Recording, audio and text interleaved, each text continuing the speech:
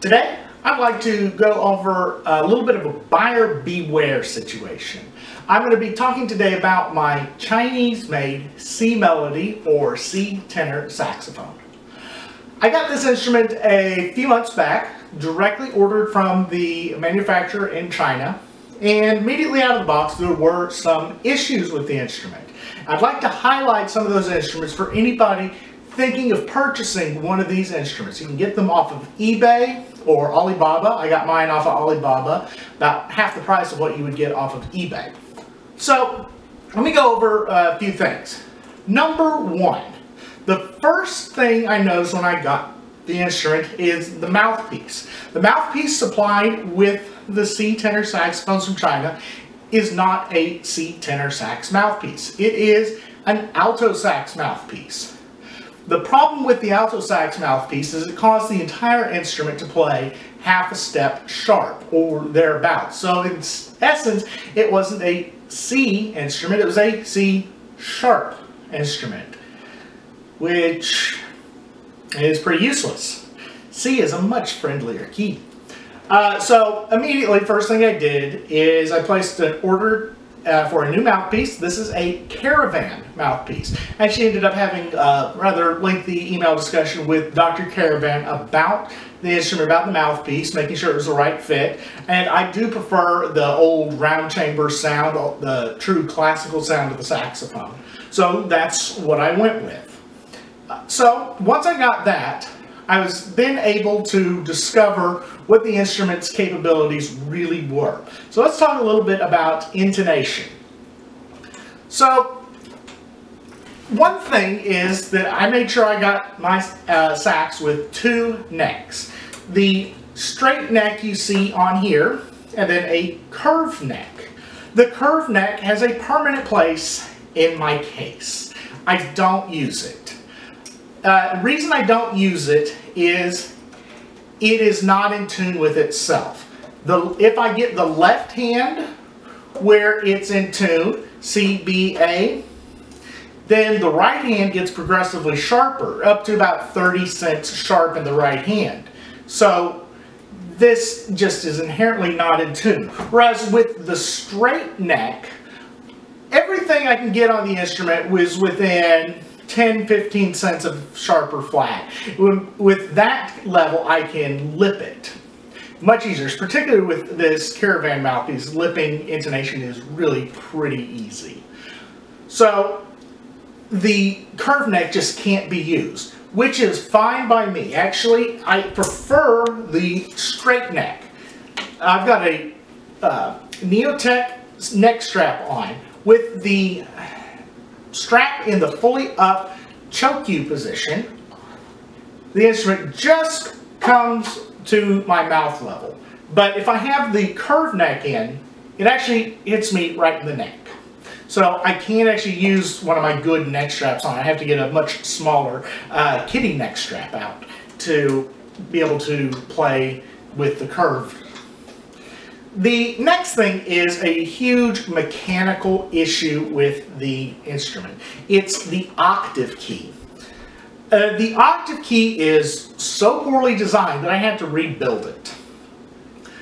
The octave key here is an amalgam of an old school system and a new school system. Old school, I can show you with this 1929 Buescher Alto. The octave key is placed directly above the thumb rest. It's only about an inch in length. The pivot is on the right side of the thumb rest. So the thumb on this instrument goes up. Very, very simple mechanically. Now, a newer system is like on this curved soprano. It is off to the the key is now off to the right side. The thumb no longer moves up. The mechanics are now on the left side of the thumb rest. What the C tenor has is the mechanics are well it should theoretically be that the mechanics are on the left side of the thumb rest. However if you go in a straight line directly up from the thumb rest it's directly above it. But the key is placed in such a way that it's also directly above it. Directly above, directly above, we have no pivot. There's, there's no way. In fact, when I first got the instrument, you press the key down and I'm pressing the key and it's not moving because the pivot's in the wrong spot. If the pivot were moved over some, the key moved over, it would work. They've got the it's it's close to an old school system where it's up, but the pivot's on the wrong side. If they move the pivot over and change it out, it would be fine. My workaround is I soldered on a new touch piece. Uh, this is uh, old, a key off of an old clarinet that I just soldered in place. It comes off now to the right side of the thumb rest. And all I have to do is wiggle the thumb. The thumb now no longer needs to move up. It's all off to the right side. This works pretty well. It's not aesthetically pleasing, but for me, it works.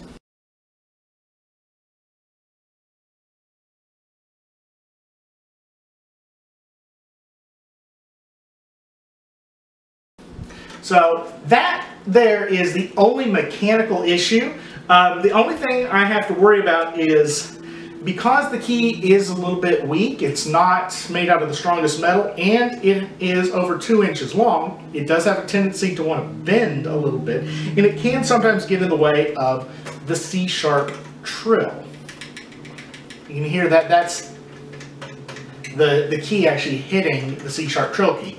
Now the other thing is the palm keys. The palm keys, once I got right mouthpiece on, figured out which neck to use, the palm keys were a mile sharp.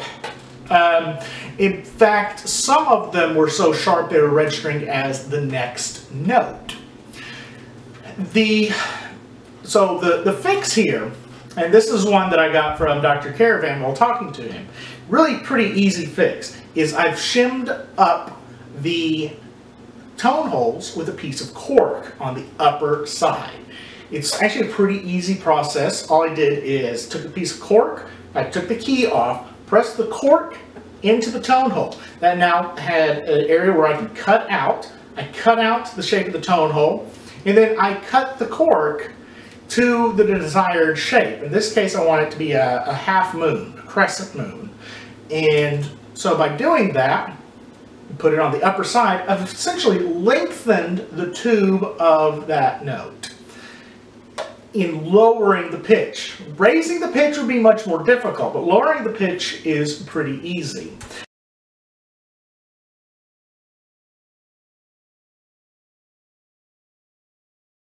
I've only done two of the keys on here. Um, I've done the high D and the high E flat. And I'll show you um, just how out the notes above E flat are. So this is D.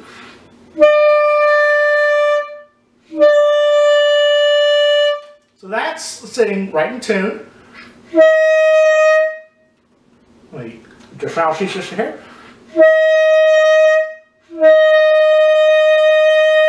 There it is in tune. Now here's E.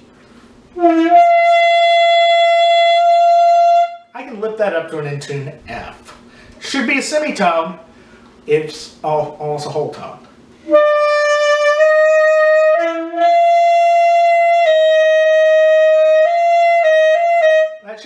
Semitone. And so I've got to shim up the E, the F, and the F sharp.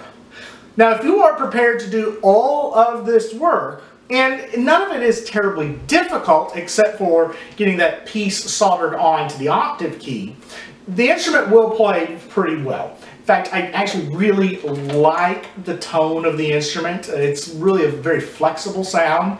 It's a sound that I really like for classical settings. Um, um,